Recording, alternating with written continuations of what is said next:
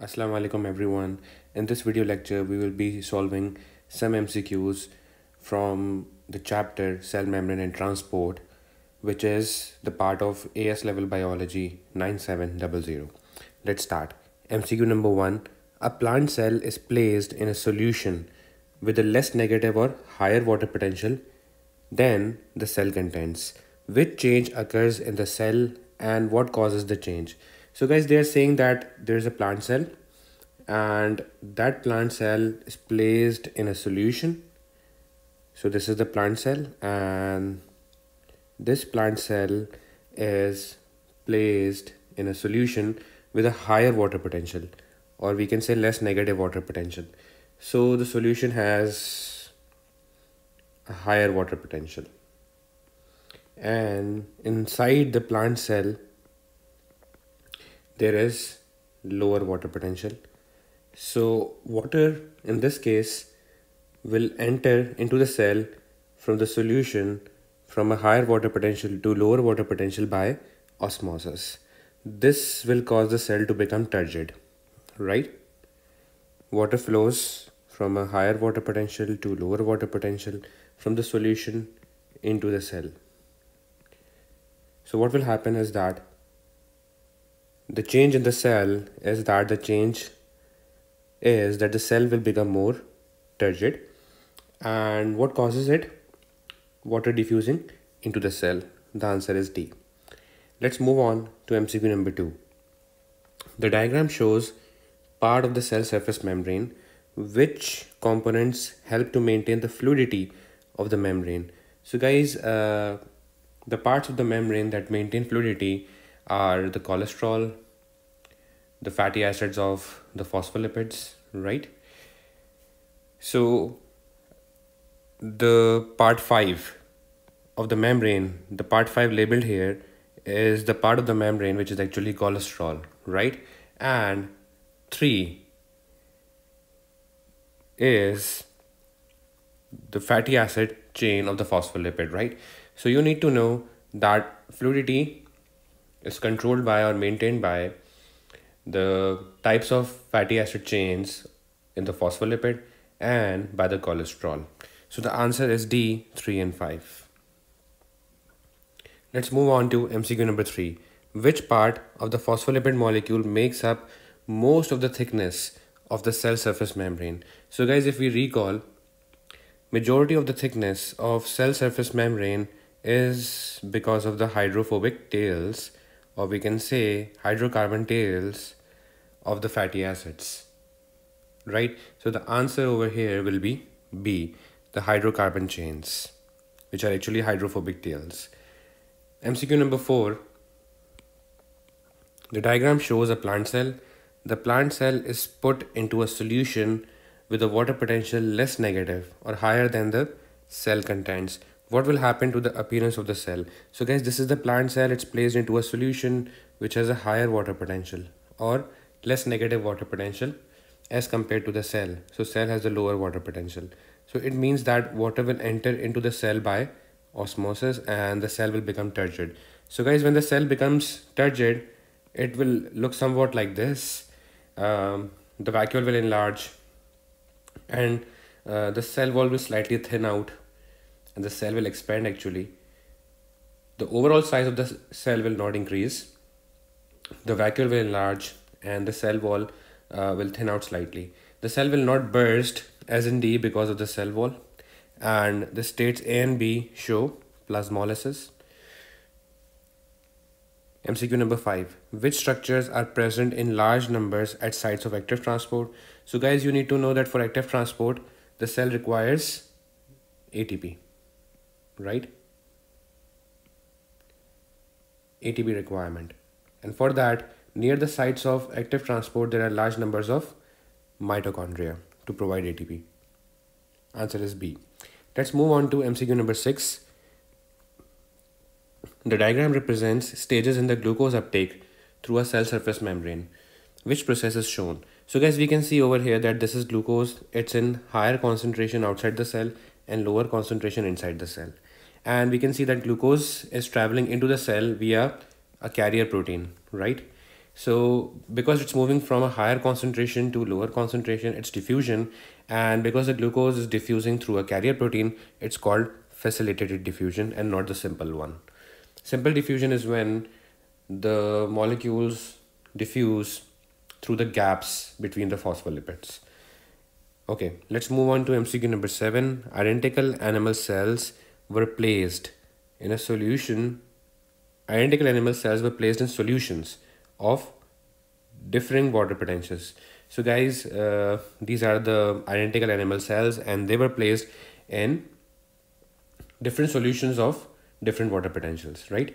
The diagram shows the volume of the cells at the start and at the end. Which cell was placed in the solution with the lowest, most negative water potential?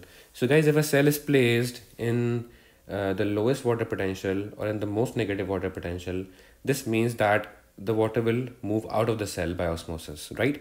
For example, if a cell is placed in a solution that has a very low water potential or most negative water potential. So obviously water will flow out of the cell by osmosis and this will cause the volume of the cell to decrease. So the answer should a. In b volume remains unchanged. In c volume increases and in d the cell bursts. So in c and d water is entering into the cell and in b there is no change in the volume of the cell which means that there is no net movement. So only possibility is A because uh, we have placed the cell in the lowest water potential. So water should come out of the cell by osmosis and the volume of the cell should decrease. So the answer should be A. Let's move on to MCQ number 8. Which, mo which molecule prevents the cell surface membrane from becoming too fluid or too rigid? So guys, you should know that this is the function of the cholesterol. Cholesterol is the part of the membrane or the molecule inside the membrane which prevents the membrane from becoming too fluid or too rigid. Let's move on to MCQ number 9. The diagram shows a red blood cell and the concentrations of ions in millimole per dm cube in the plasma and in the cell. Which ions are actively transported into and out of the cell? So guys, uh, these are the ion concentrations inside the red blood cell and these are the ion concentrations out uh, the red blood cell in blood plasma. So we need to uh, state that we need to choose an option which correctly shows that which ion is actively transported into the cell and out of the cell. So guys, if we talk about into the cell, potassium ion has a lower concentration in the plasma and a higher concentration in the cell. So potassium will be transported actively into the cell from a lower concentration to higher concentration because active transport is against the concentration gradient that is from the lower concentration to higher concentration so potassium will uh, will be transported actively into the cell from a lower concentration to higher concentration and we can see sodium over here sodium uh, has a lower concentration inside the cell and higher concentration outside the cell so sodium will diffuse sorry sodium will not diffuse sodium will be transported actively out of the cell from a lower concentration to higher concentration. So sodium will be transported actively out of the cell. Potassium will be transported actively into the cell and sodium will be transported actively out of the cell. Right? So the answer will be B. MCQ number 10. What are the features of facilitated diffusion?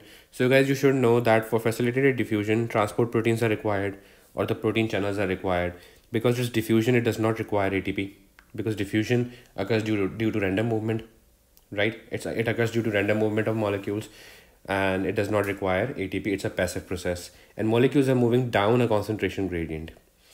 So the answer is C. Let's move on to MCQ number 11 the table shows three processes that contribute to transport across the cell surface membranes.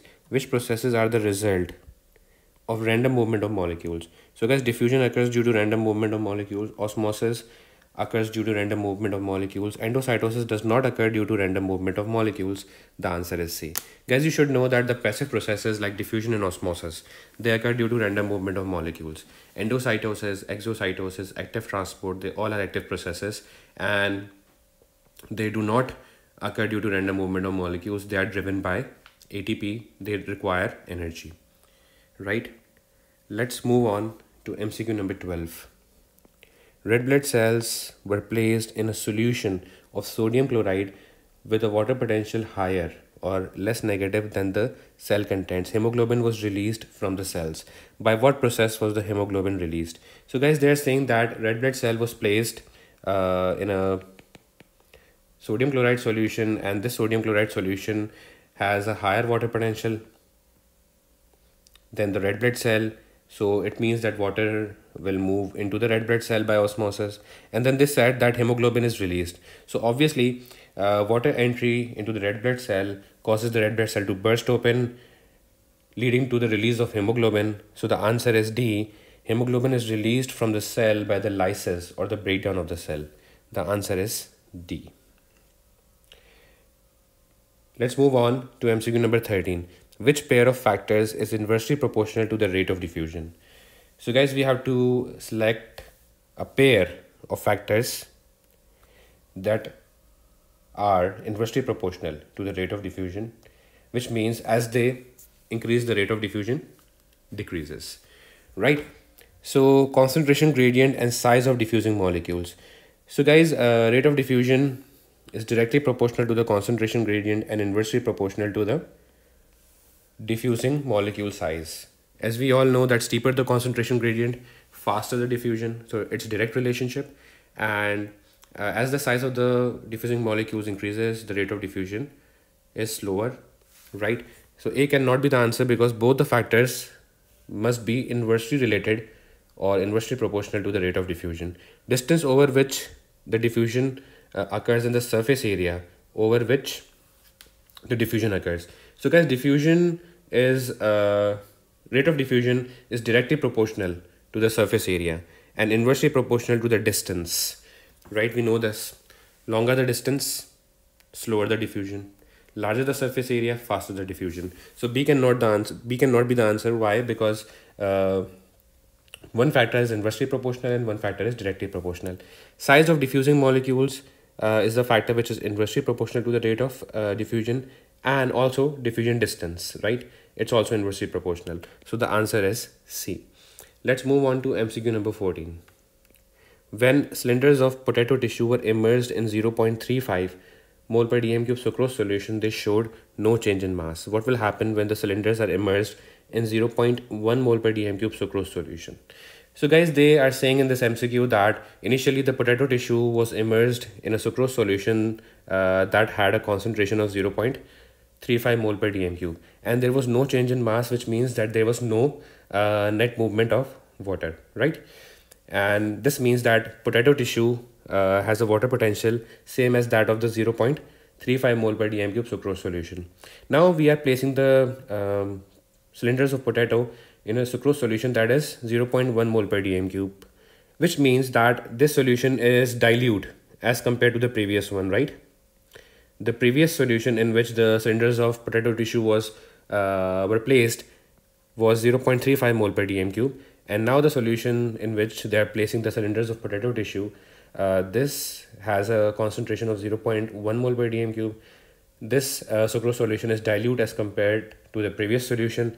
And dilute solutions have a higher water potential. This means that water will enter into the potato tissue.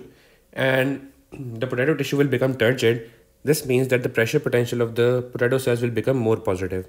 Guys, we all know that as uh, the water enters into the uh, plant cells, they become turgid and the pressure potential becomes more positive. If we look at option B, it says the solute potential of the cell will become more negative. No guys, if a cell takes up water, its solute potential also increases.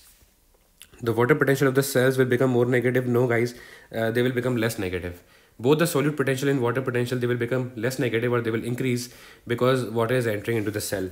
The water potential of the solution will become less negative. No guys um, the water potential of the solution will become more negative. It will um, decrease because solution is losing water. So the water potential should become um, more negative not less negative. That's why the answer is a. Let's move on to mcq number 15 the diagram shows part of the cell surface membrane what is the correct function for each of the structures labeled okay regulates membrane fluidity so guys you should know that regulation of membrane fluidity or the maintenance of membrane fluidity is the function of cholesterol, which is R over here. So R is cholesterol over here, and it's the function of cholesterol to regulate or maintain the membrane fluidity. So this should be R. Forms hydrogen bonds with water to stabilize the membrane. So guys, forming of hydrogen bonds with water outside the cell to stabilize the membrane is the function of uh, the branched carbohydrate chain of uh, glycoproteins and glycolipids, right? So this is the function of P. So basically this is the glycoprotein, carbohydrate chain or branched carbohydrate chain attached to protein. This is glycolipid in which the branch sugar chain is attached to phospholipid. This is again a glycoprotein. So guys, uh, the carbohydrate chains of glycoproteins and glycolipids, they make hydrogen bonds with the water outside the cell to stabilize the membrane. Transports ion and large polar molecules. So guys, transporting ions and large polar molecules uh, is the function of transport proteins such as Q over here. So this is Q. The answer is D.